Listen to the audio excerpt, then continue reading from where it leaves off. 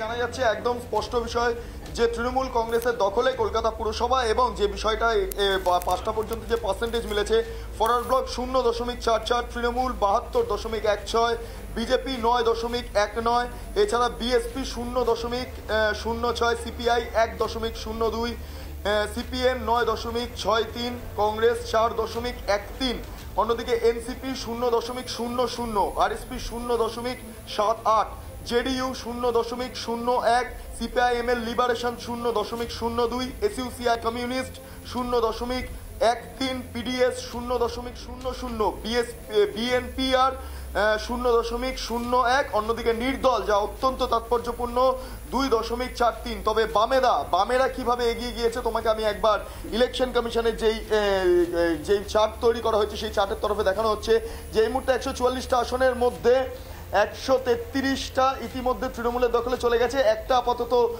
এগিয়ে রয়েছে। অন্যদিকে বিজেপি তিনটে এবং বামেরা দেখতে পাচ্ছি। সিপিআই এক এবং সিপিএম এক এক এক দুই।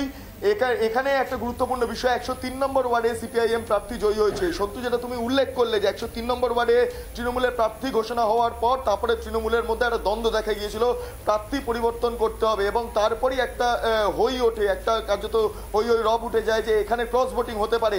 সিপিএম এর খাতে তৃণমূলের ভোট যেতে পারে। সেই বিষয়টাই কার্যত অত্যন্ত তাৎপর্যপূর্ণভাবে পঁয়ষট্টিটি আসনে আমরা দেখতে পাচ্ছি দ্বিতীয় স্থানে বাম এবং একশো তিন এবং বিরানব্বই। একশো তিন সব থেকে গুরুত্বপূর্ণ ওয়ার্ড কারণ একশো তিনে তৃণমূল কংগ্রেসের যখন প্রার্থী তালিকা ঘোষণা হলো, তখন রাস্তায় বসলেন তৃণমূল কংগ্রেস সমর্থকেরা। বিরানব্বই, একশো তিন ইতিমধ্যেই পকেটে পুড়তে পেরেছে বাম। পঁয়ষট্টিটি আসনে দ্বিতীয়। কতটা তাৎপর্যপূর্ণ মনে?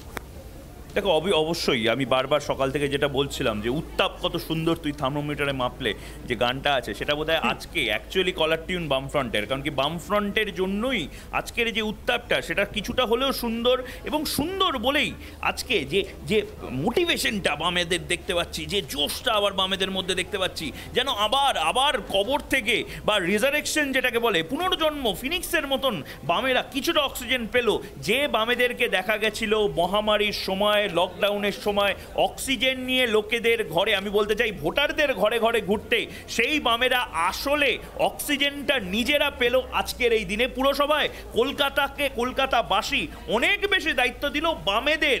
রাদার দেন যারা বিজেপি যারা বিজেপির কর্মী রয়েছেন তাদের থেকে, এবং আমরা দেখতে পাচ্ছি বিজেপির বিজেপির তথাকথিতভাবে বলা হতো যে একটা সময় যে বামেদের বামেদের সাধারণত কলকাতাবাসী ভরসা করে না। আমরা দেখেছিলাম হয়তো একটা সময় কলকাতা কখনো যেত কংগ্রেসের হাতে, কখনো যেত তৃণমূল কংগ্রেসের হাতে।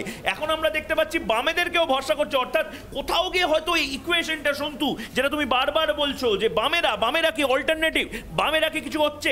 এই যে বাম বাম করে যে কথাটা বলা হচ্ছে, সেটা কিন্তু অ্যাকচুয়ালি হচ্ছে, যদিও আমরা সুকান্ত মজুমদারের কথা আমরা দেখছি, যেখানে বলা হচ্ছে যে তৃণমূলই আসলে পাইয়ে দিচ্ছে বামেদের যাতে করে এই ভোটটা ভাগ হয়। অর্থাৎ আমরা যে কথাটা বলছি যে রাম, রামের ভোট বামে যাচ্ছে আবার, অর্থাৎ ঘাড়বাপসি হচ্ছে কিনা, রামেদের ভোটের ঘাড়বাপসি হচ্ছে কিনা বামেদের, সেই সমস্ত কিছু নিয়ে ইন্টারেস্টিং ফ্যাক্টস আছে। কিন্তু সন্তু, আজকে আজকে তুমি যখন হচ্ছে না কিটা স্টুডিও থেকে করছ, মানুষের কণ্ঠস্বর আমরা বলি, মানুষের কণ্ঠস্বর রিপাবলিক বাংলা এই মুহূর্তে তোমার অনুষ্ঠান, অত্যন্ত জনপ্রিয়, পাঁচটার অনুষ্ঠান, সেটা গোটা বাংলা শুধু নয়, গোটা পৃথিবীর যারা বাঙালি বাঙালি দর্শক, তারা ইউটিউবেও লাইভ স্ট্রিমিংটা দেখে, তাদেরকে এই মানুষের নিউজ রুমটা এটা আপনাদের নিউজ রুম সন্তু যে শোটা করছে, সেই শোটা আপনাদের নিউজ রুম থেকে করছে, মানুষের নিউজ রুম থেকে করছে, এবং সেই মানুষের নিউজ রুম কীরকম দেখতে সেটা আমরা সারাদিন ধরে দেখিয়েছিলাম, এবং অবশ্যই সন্তু এখনও দেখাবে, যেখান থেকে একের পর এক আপডেট সন্তু সকাল থেকে একটা, দুটো, তিনটে, চারটে, পাঁচটা, ছটা, সাত, আটটা করে ডেস্কের মধ্যে থেকে আমরা বারবার করে আপডেটগুলো দিচ্ছিলাম, সবার আগে দিচ্ছিলাম, কিন্তু বারবার কথা বলছিলাম,